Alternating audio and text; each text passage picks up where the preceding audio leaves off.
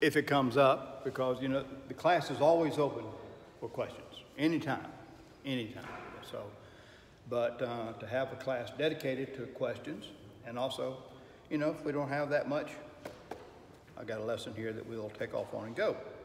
So, questions? What questions do you have that you would like to raise for discussion this morning? Doesn't have to be about any of our lessons, uh, although it can be if you like. It's, it's, it's, it's open. What would you like to ask and discuss? That many, huh? All right. No, I, I did the last question. Y'all started.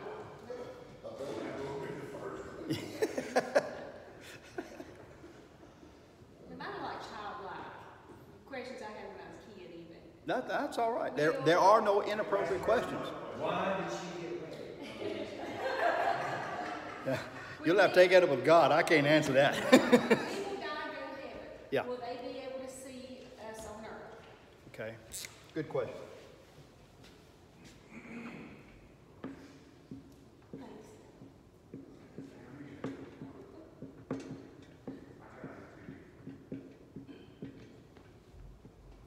Do people in heaven see us on earth? Yeah, or can they? Are they allowed?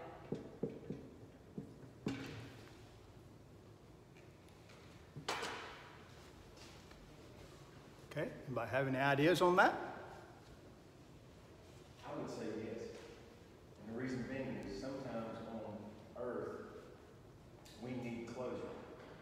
And I think God would be able to let, if we're in heaven and see us down here, maybe even sometimes just kind of like put a bug in our ear, hey, I'm fine, I'm good, I'm in heaven. Just to bring closure maybe to us. Because it's kind of happening before. So I really think yes. So, it, but what I'm hearing is it's more God letting you know. God letting them See. Okay. Okay. All right. What else? Any other ideas on that?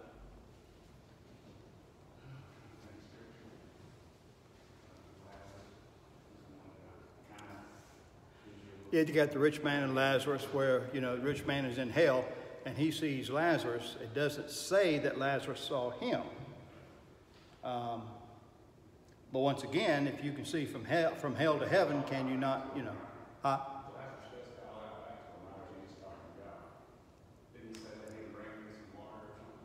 Yeah, yeah, he's, he's asking God for that. And God said, Lazarus ain't got time to fool with you, you know, basically. And, uh, and I know there are scriptures that imply, I'm thinking of Revelation 5, 4 or 5, the souls under the altar, and they're crying out, you know, when are you going to avenge us? So how are we going to know? And if God doesn't tell us. So I, I think I would say in general, no. But I say in general because I think there are times in which the Lord sees a specific need that He will allow. Now, whether it is the actual person coming to us, because we all, we all have heard of people that been visited, you know, after so and so died. I saw them. We, Teresa and I had someone telling us uh, uh, an example of that a couple of months ago.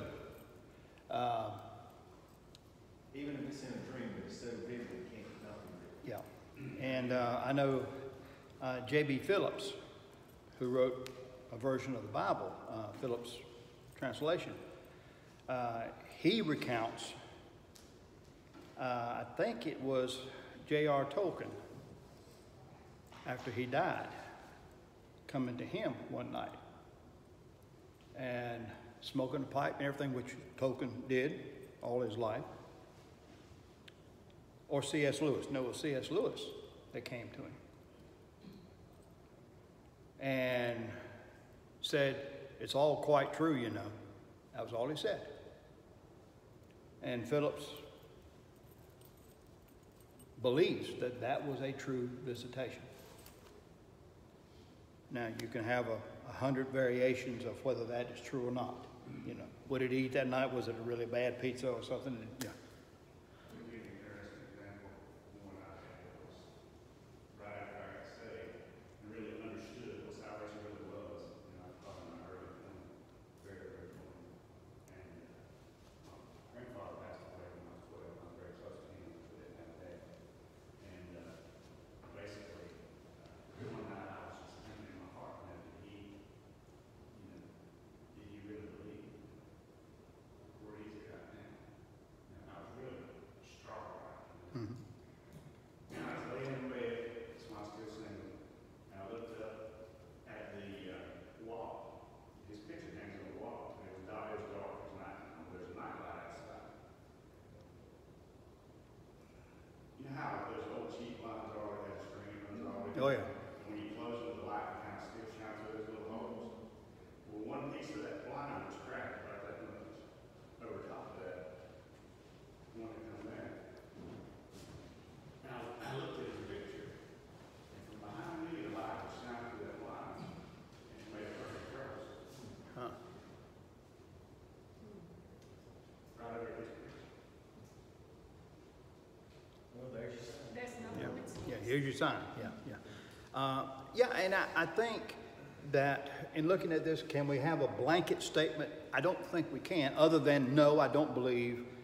I, I, I don't think my parents who are in heaven are saying, Lord, I, I, I- I thought I raised him better than that, you know?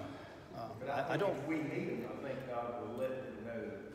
yeah. Let us- I, I think if, if, if the necessity is there, I think the Lord can.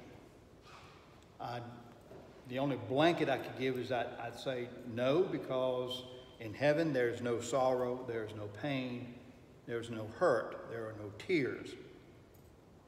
And so if it was a blanket that he, that he allows people in heaven to see everything, we then get to the question, well, what if they see their children lost? And, and things like that. You need to be worried, anything else. Yeah, yeah.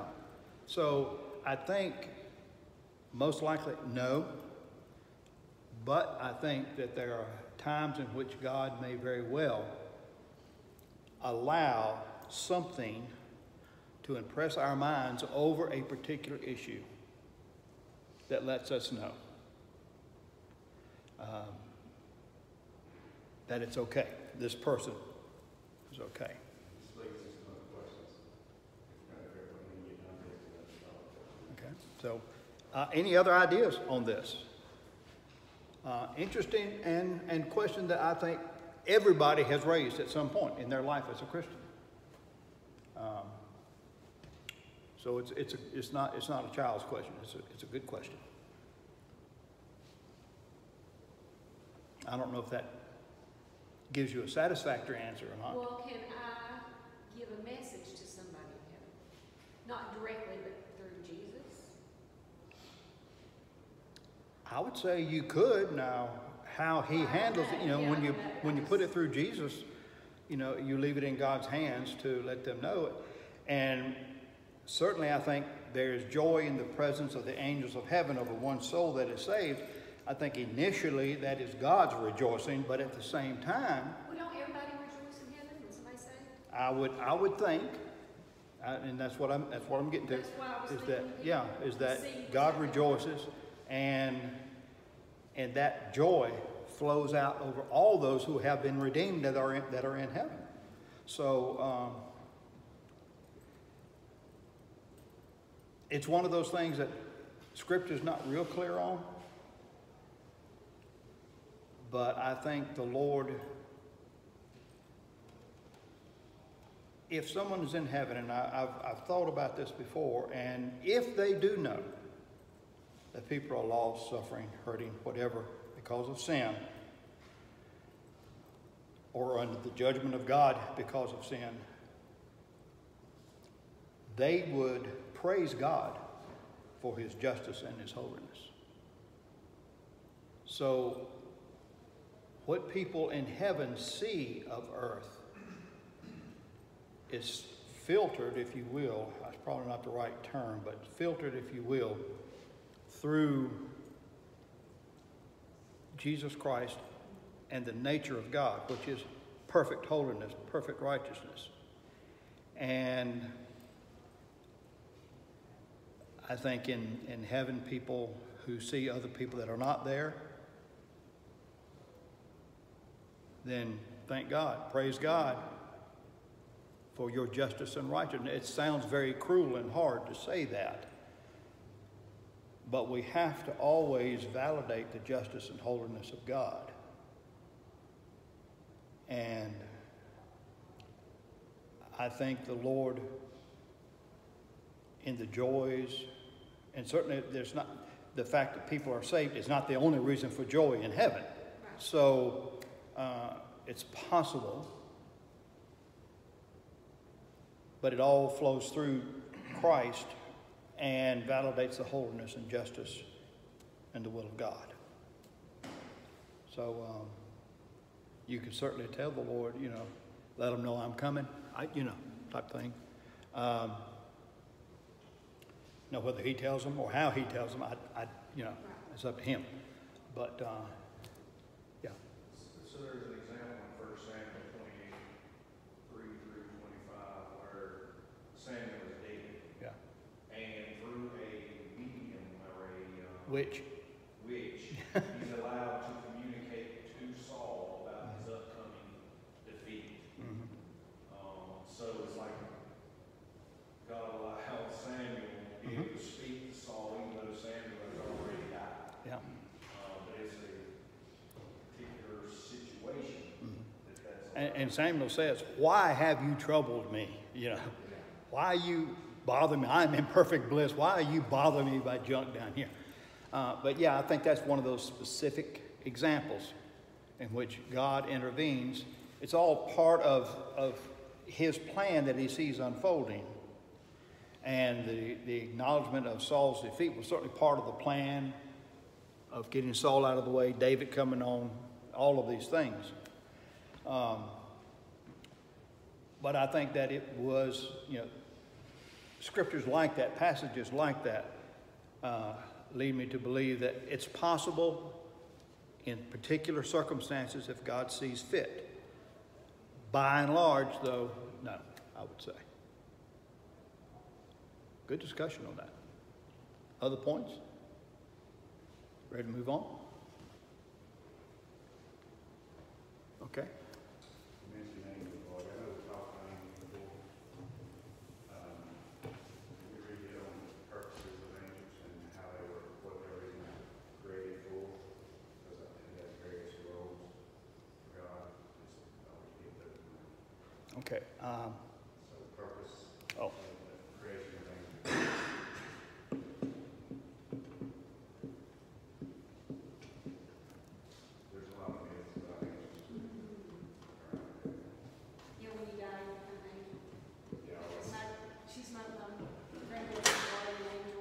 like that.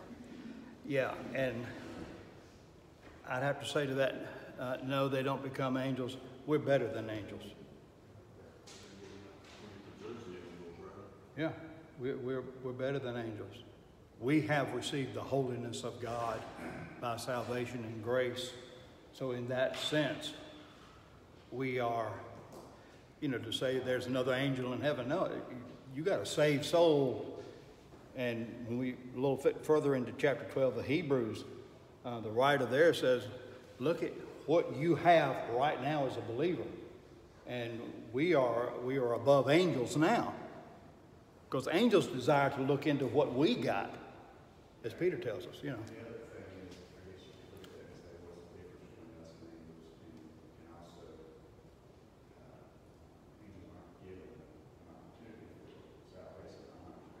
No. No, they've had, they, they had theirs and, yeah. Yeah. Huh? Yes, they were already there. So, purpose of angels, I think, essentially, they were created for the purposes of God. Which sounds like, yeah, that's a cop-out answer.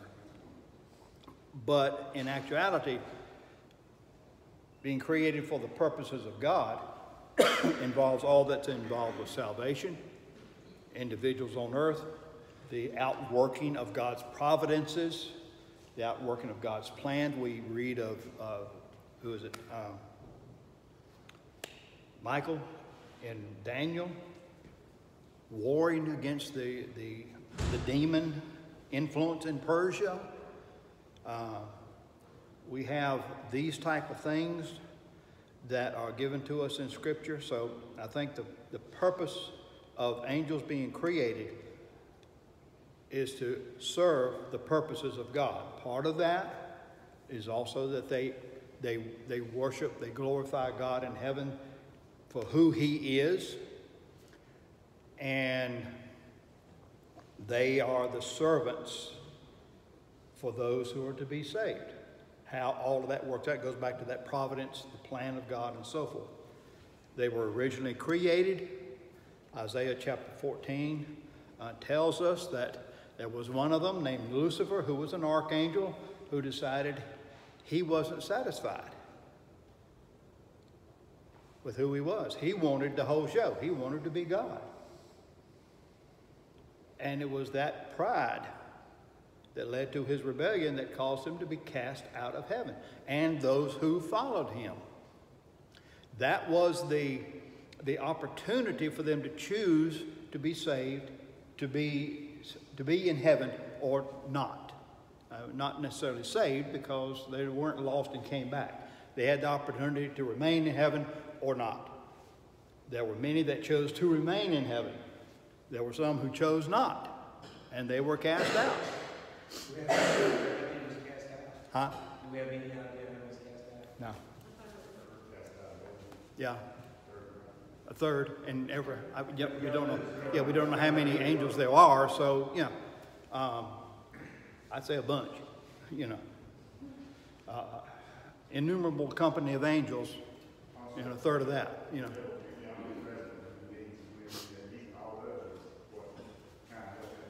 Yeah, yeah, yeah. What kind of angels they were? Huh? Wonder what kind of angels they were that got cast out? Uh, Seraphim, cherubim, they're like two different things anyway. Could have been. I, I, I don't, uh, scripture's not real clear on that. So, uh, it could have been any number. He was an archangel, so I imagine, um, any below him, you know, which would be some of the other layers, cherubim, seraphim, angels, uh, you know, that list. And there are, there does seem to be orders or uh, a hierarchy in the sense of orders. I don't think it's like one commands another one and so forth, because there's not but one commander, and that's God. But I think there are orders of angels that God has for his purposes that he has used throughout history. I don't think there's a great number of archangels where we're not told, but of just a few um, in Scripture. Think we have guardian angels? I think there are angels that watch over us that the Lord uses. Um, I I know the old the old statement, you know, God God looks after fools and drunks. Um, Hey, watch this. uh, Hey, yeah, yeah. Hey, watch this. You know, and the Lord says, "Okay, let me let me help this." Uh, and I have been both, so I think that uh, God does look after us. Now, does that mean that we have an angel that is our buddy that stands right beside us? We, we talk to our angel? No, we talk to Jesus. We seek God. Um, it's not, it's not a angelic relationship with humans that is personal. They serve us because they have been told to serve us. It's not because, well, I'm going to look after Teresa because I know that the husband she's got is a real issue, and I'm going to send an angel to look after her. And he's going to help her. He's going to, no, no.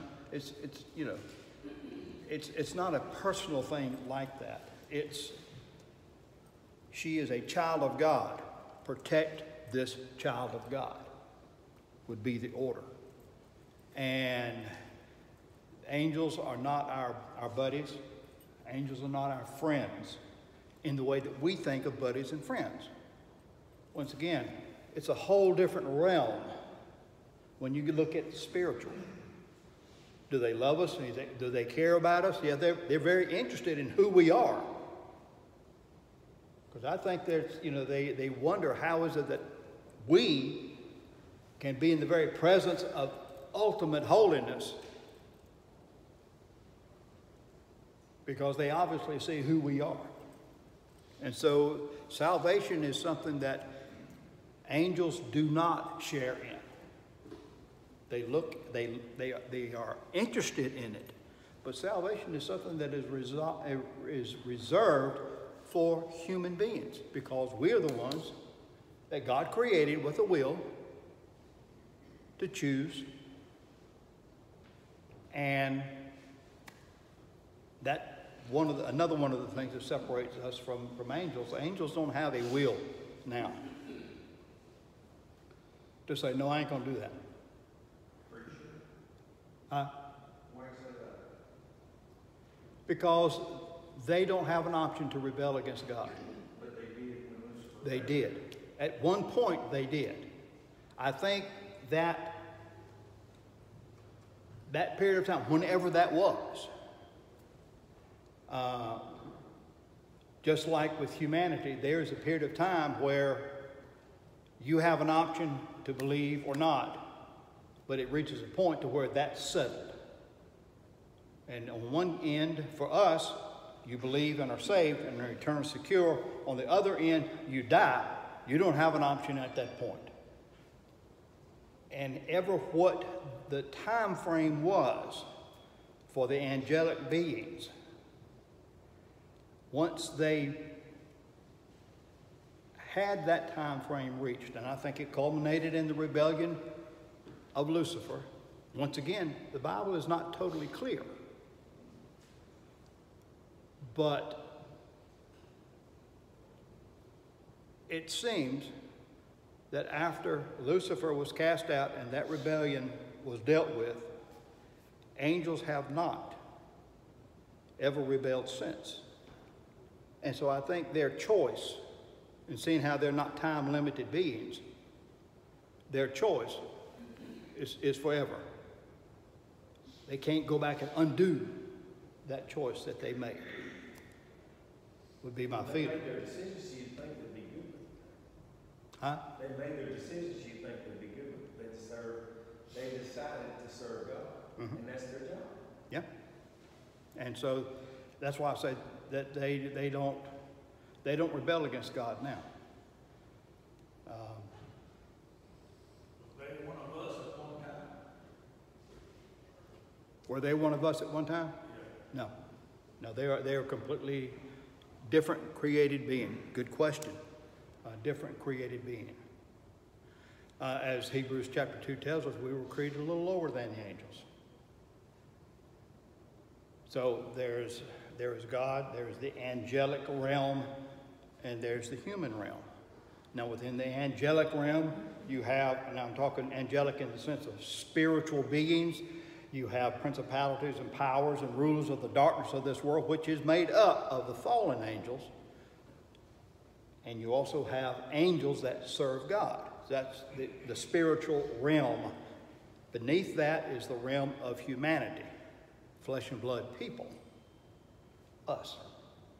So we're, we're time limited, we're bound by limitations that angels don't have. They can appear, disappear, walk, walk through walls, all, all this type of stuff, you know. Now, there's been people who have tried to run through some walls, but you know, uh, generally that doesn't work out too well for them. So we're, we're time limited beings, we're physically limited beings. Uh, angels are, are spiritual beings. They don't have to eat, they don't have to sleep, none of that. They, they live according to the power of God. And so that's, that's a whole nother level. We've got to eat and sleep and so forth and so on until we reach a glorified body, which happens at the resurrection. And at that point, we become, a, we have a spiritual body. And what we have now transforms into a spiritual body like our Lord Jesus' body. He could appear, disappear, but he could eat fish. He did it after his resurrection. So, uh, but, but no, they're not. They're not us. Back to that guardian angel, I saw a verse in the reference on it, I'll just read it right quick. Uh, it's in the parable of lost sheep, but, um, take heed that you, it's Matthew eighteen, take heed that you do not despise one of these little ones, for I say to you that in heaven, their angels always see the face of my Father who is in heaven. Yeah. So there's there's there's obviously angels that are charged with the It's almost like they can see his, his displeasure, and then they just go act, it ain't even a matter of yeah yeah. He, they don't have to get a memo. It, it you know, um, and we talk about traveling at the speed of light. They travel at the speed of God. So he's everywhere present at one time. And but they are sent. Now, they enter time limitations of the world in accomplishing God's will. The reason I say that, remember Daniel's prayer, chapter 9? He set out to pray, and the angel came to him and said, Your prayer was heard three weeks ago. The answer went out, but I had to go deal with this and this and this. Angels enter into our time limitations, but they are not time limited.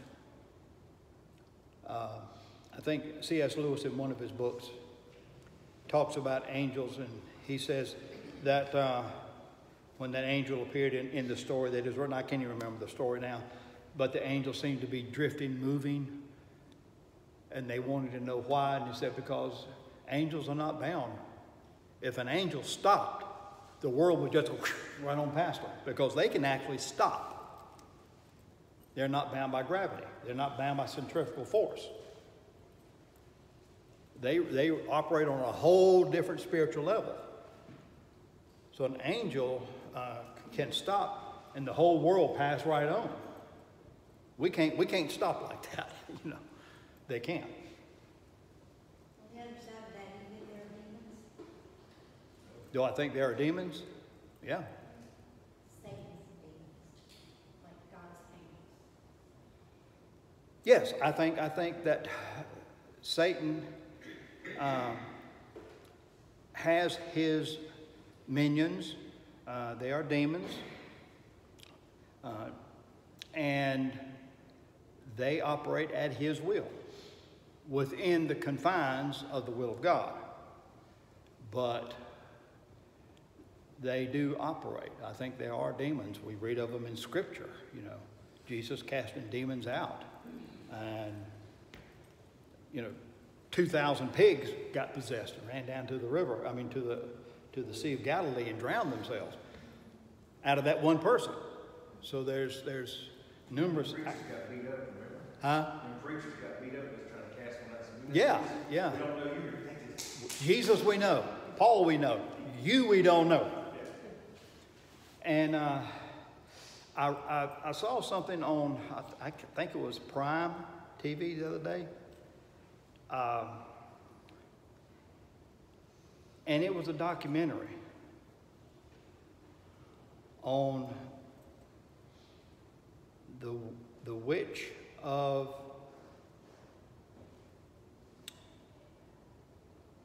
and I think it's crossed something in Australia back in the 50s. And this woman,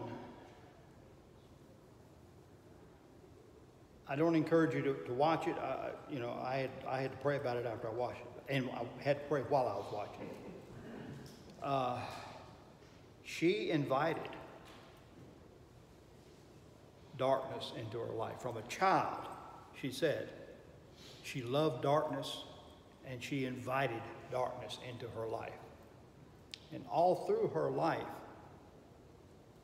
she sought to be empowered by dark, what she called dark forces. I think these were demons. I think this woman, she drew pictures of them, all this that she had seen in her trances. Um, and they were horrendous looking beings but she was drawn to them. And I think that's an interest, what, one of the things that was interesting about that. You know, if people could see the devil for what he was, without Jesus Christ, they would still be drawn to him. This woman was drawn to the horrible creatures that she saw in her, in her trances. She welcomed the sight and the visitation of them. And it really revealed the depth that Satan can penetrate an individual. So, yeah, I think there are demons. They are under the control, if you will, prince powers, rulers of the darkness of this world, Ephesians chapter 6. I think they are his demons, his forces. They operate in any numbers of ways, um, influencing, possessing, all of these different things. But they are all ultimately under the control and the limitation of God because angels are called into the very presence of God in heaven. Job chapter 1 chapter 2, where God questions Satan himself. So you seen Job? And the natural question, would, the answer would be, well, why not? You're glorious and you're wonderful. No, you let me at him, he'll cuss you.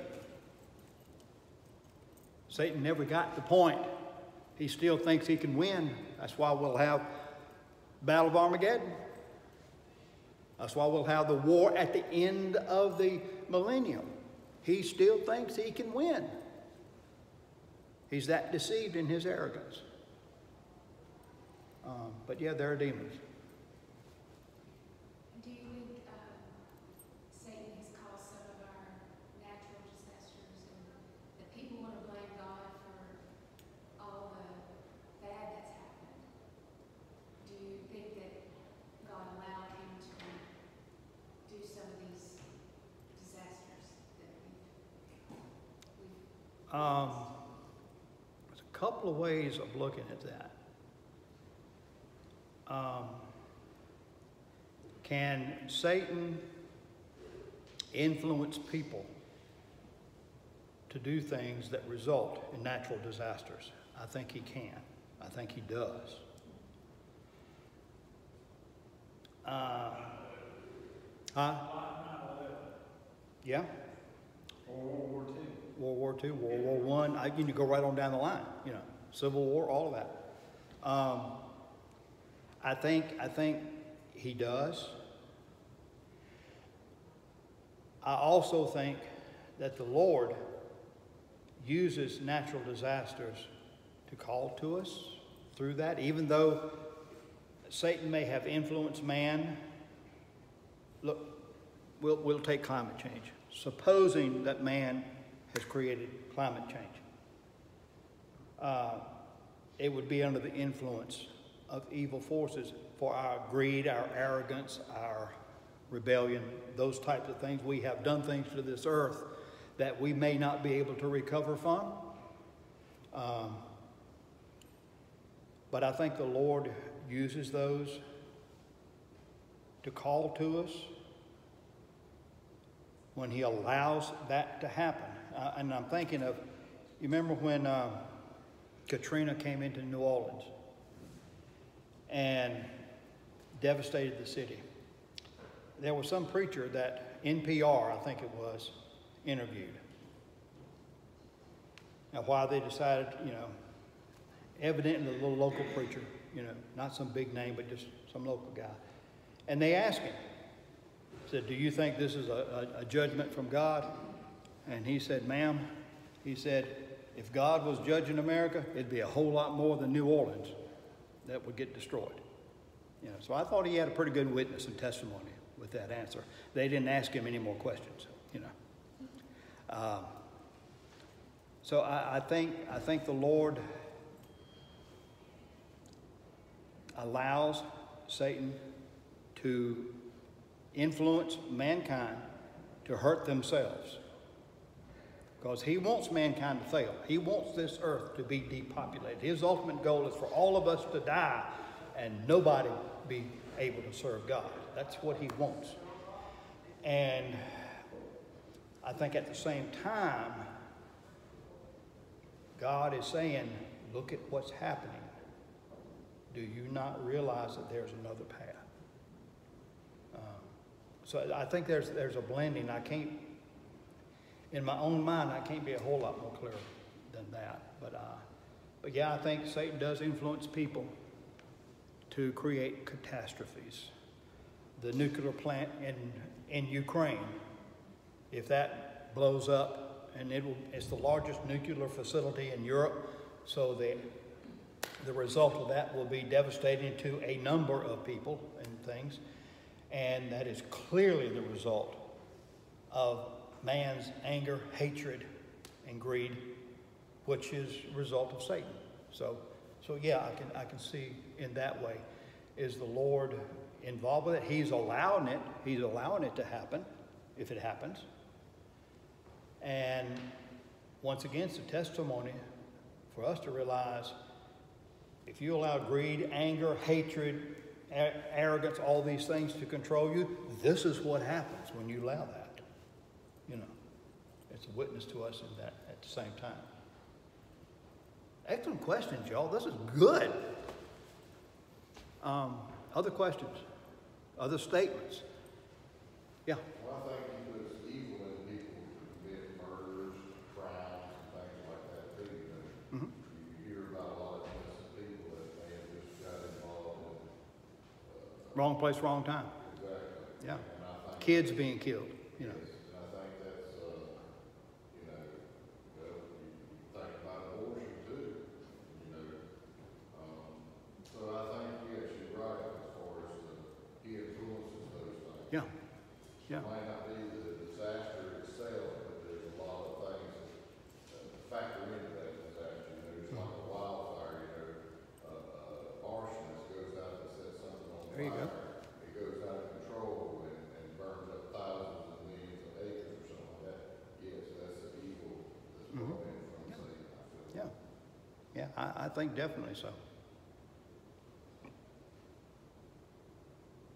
It is, it is, going back to the show that I saw, um, it is, it is untelling the depth of evil that humans will welcome into their lives. This woman welcomed all that she had and experienced. Well, they, they, they worship Satan like we worship God. She did, yes. There's groups out there that need to worship Satan.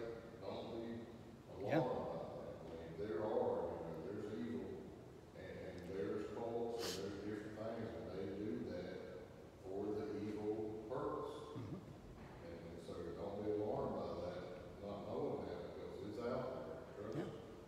Yeah, I'm working at high school. Yeah. Yeah, you said it. yeah, You, yeah. you get thoughtful. Yeah. Yeah. All right, well, we have to stop. Um, next week, David is going to be teaching class. Teresa and I are going to be going to Missouri to see Ellen, Carlos, and the kids. Uh, so we will not be here next weekend, but David has an excellent message, uh, lesson prepared, I'm sure. So y'all please be here for that, and, um, and we'll see you on the 25th. Thank you.